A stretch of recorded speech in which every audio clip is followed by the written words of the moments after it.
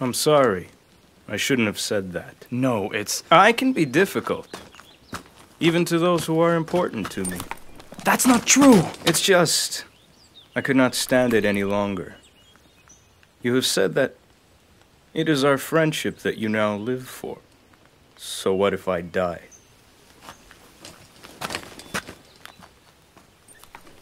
That guy sure likes to worry about stuff. Just like you. You should learn to just live life as it comes. Not everyone can be like you, Keiji. Got that right.